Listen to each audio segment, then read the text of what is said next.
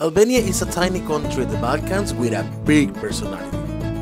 With stunning beaches, rock mountains, and vibrant cities, there's so much to discover in this hidden gem of Europe. The people are some of the warmest and friendliest you'll ever meet, and they love to show off their rich culture and history. From delicious food to traditional music and dance, Albania is a feast for the senses. And did we mention the stunning views? Whether you're exploring ancient ruins, soaking up the sun on a beautiful beach, or taking in the view from the mountaintop, Albania is a photographer's paradise. So pack your bags, grab your camera, and join us on this adventure to explore the best kept secret in Europe.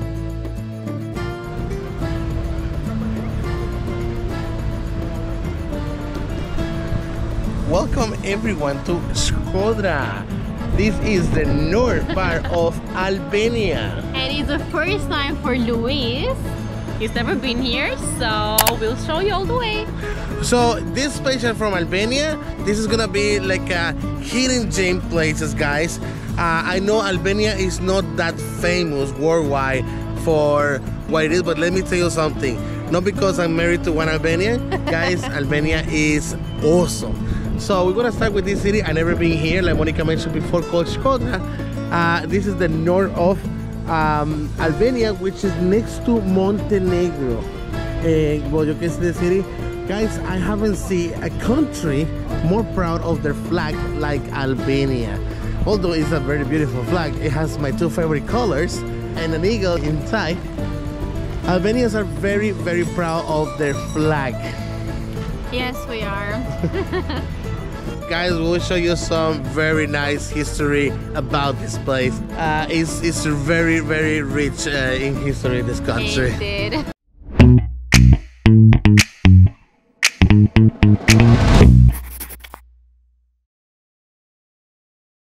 Shkodra located in the northwest of Albania is a city with a rich history and plenty of character with its charming old town, stunning lake views, and bustling marketplaces, Shkodra is a perfect blend of traditional and modern.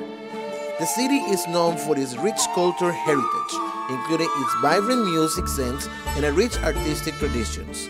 Whether you're strolling through the old town, trying local delicacies at the traditional restaurant, or dancing the night away to live music, Shkodra is sure to leave you with unforgettable memories. So this is dedicated to the persecution, sacrifices, and resistance of the people of Shkodër during the communist dictatorship. Wow.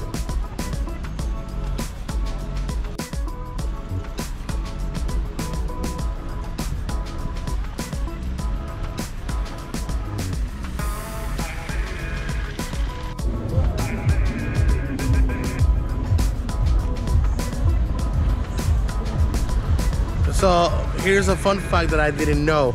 Uh, Mother Teresa was originally from Albania. Even though she was called Mother Teresa of Calcutta, she was originally from Albania. She was actually born in Skopje and she's an Albanian from Skopje, but she's Albanian. so we're very proud of that.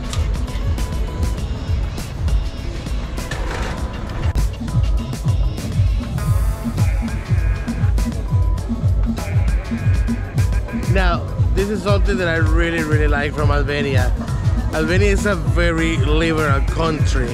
Uh, even though you see a mosque in front of there, yeah, right in front of the mosque, they have like a kind of festival, whatever. So women here are free and they can dress the way they want, which is something really, really nice, guys. Something that I really like. So we're in the middle of a festival. A, a private school is uh, planning this. If you want to try whatever they cook. Uh, so they have all traditional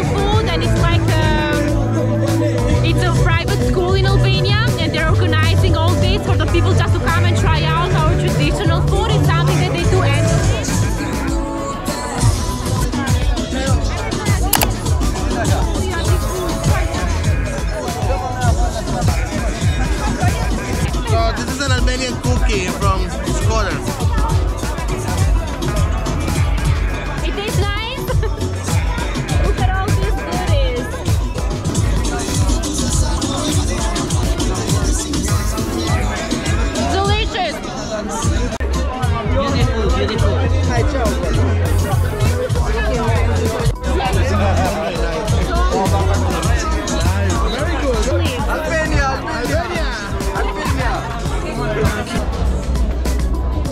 how the schools they promote their school by coming cooking something and people can come and try for free. So I have to mention it's a professional school. It's um, like the high schools. Usually they they have like one profile.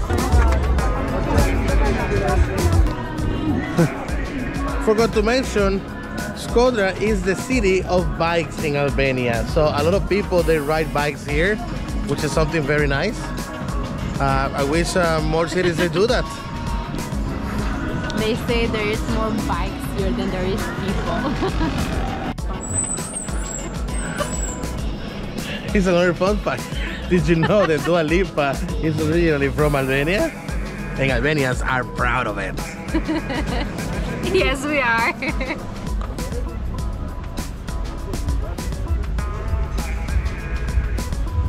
Uh, that was a patio they call uh, Luigi Gurakuqi. Probably a nice guy because Luigi, Luis, yeah. Luigi was a very important figure of the Albanian national awakening. He was a politician. I told you. okay guys, so with this beautiful view, we are in Shkodër. This is the Rozafa Castle. Uh, it's my first time here. I'm super excited. It's my first time here in years, so I'm super excited too. Monika came here with uh, with her school. like it was like an excursion when I was probably in fifth grade, I think. Yeah, that was like 45 years ago. the castle was uh, still with a king and the knights, and apparently, nah. okay. yeah, so um, it looks really, really nice. Look, the Albanian flag right there. Love it. I really love it. Um, We're some proud Albanians. and well, you can see, guys, the view is amazing, amazing. So, as we mentioned earlier, and that side over there is uh, Podgorica, Montenegro, which is the capital of Montenegro. Uh, we are in the in the limit with Montenegro. Almost in the borders. Yeah, so look, the sea over there is well, the view is amazing, breathtaking. So, looking forward to see the castle right now. Okay, so what you see behind of me is the Lake of Shkodra. Look at this beautiful view. It lies on the borders of Albania and Montenegro. It's one of the oldest lakes in the Balkan. So it's also one of the biggest one in Balkan. Oldest and biggest one. View here is amazing, guys. Like I could stay here all day long. I swear. Uh, yeah, it's so full of history. Love it. yeah, this castle is massive. Like I cannot imagine how big it was when it was uh, in a full service. So what amazes me from this castle, guys, is that it's a very rich history. Last night, before Monika uh, brought me here, uh, she started telling me the story, and actually, I was like, it's actually mind blowing. So um, I'll let Monika tell you the story because she knows it better than me. Okay, so the legend of Rozafa it starts with three brothers who were trying to build a castle. So they were trying and trying, and they couldn't succeed to build the castle. And a wise man told them that they had to sacrifice one of their women in order for the castle to grow. So the three brothers they made a pact with each other that they wouldn't tell their wives about this legend, and they whoever of the wives they would bring the food to them the next day. One of the women she was going to get waltzed in this castle. So the youngest brother, uh, the wife name was Rozafa, and the next day she was the one to bring food to them. Now before she was buried, she told the brothers, because she had a little baby, she said that I want you to leave one of my arms uh, and one of my eyes and one of my leg outside. So when the small baby cries, she would hold her and with the eyes she would look over him and with her leg she would put him to sleep. Uh, they had the cribs, the baby cribs. So the, the women they used to do this, just like move the crib with their feet so the baby would fall asleep. And that's the legend of Rozafa. Interesting, huh? Now, something that Monika didn't mention is the other two brothers they cheated. So they told their wife. They told their wife. So that's why their wives they didn't come uh, to deliver the food, uh, and that's why Rozafa is the one who came. So this is why the castle is called the Rozafa Castle. Amazing, huh? So if any of you guys plan on visiting Albania, Shkodra is a must see. The castle of Shkodra it costs only four dollars, and it's a definitely should come. It should be in your bucket list. View is amazing, guys. Castle is massive and it's empty, so you can appreciate this amazing view. Come on. yeah, you can enjoy making videos and photos. Nobody will will bump your.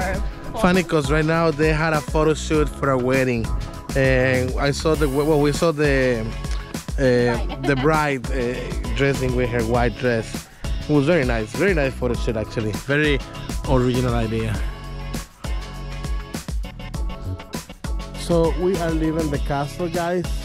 Um, well, even though I've been in a lot of castles in my life, to me, I, I, I love the, the, the history behind uh, the Albanian castles, you know, because Albania is such a country with very old history and it really, really Yeah. impressed me. So now we're going to eat. Nom nom nom. Monika is taking me to a very nice place uh, that she wanted to take me from long time ago. So we're looking forward to eat there. We'll show you how amazing the food is. Mm, nom nom nom. Okay, guys, so we stopped at this restaurant right here. It looks very fancy. It's called Bujtina Gillette. Gillette. Gillette. Gillette. yeah. Yeah, I'm still practicing my Albanian. It's a very nice place. Looks like a castle, does it? Yeah, actually, something that I like uh, from Albania is that the restaurants are quite fancy and they're very cheap comparing with uh, other countries. I remember the first time that I came here, Monika took me to a very fancy restaurant on a 24th floor. I'm like, damn, man, I'm gonna pay my soul here. It's actually quite cheap. So yeah, Albanians, top notch when it comes to restaurants. Look at this decoration, guys. Oh, look at the doubles there. Huh. So nice. Yeah, check this out. Yeah, so I just wanted a soup because, like I said earlier, I feel a little bit sick. Uh, yeah, I forgot I came with Monika here.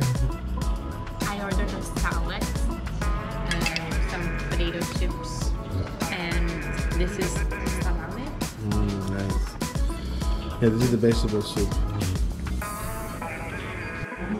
And also, guys, we got some sausages with pork chops. It's very nice. I tried it. This is the cheese salad. My soup is extremely delicious. Yeah, I'm eating like a king, guys. So freaking good, I swear.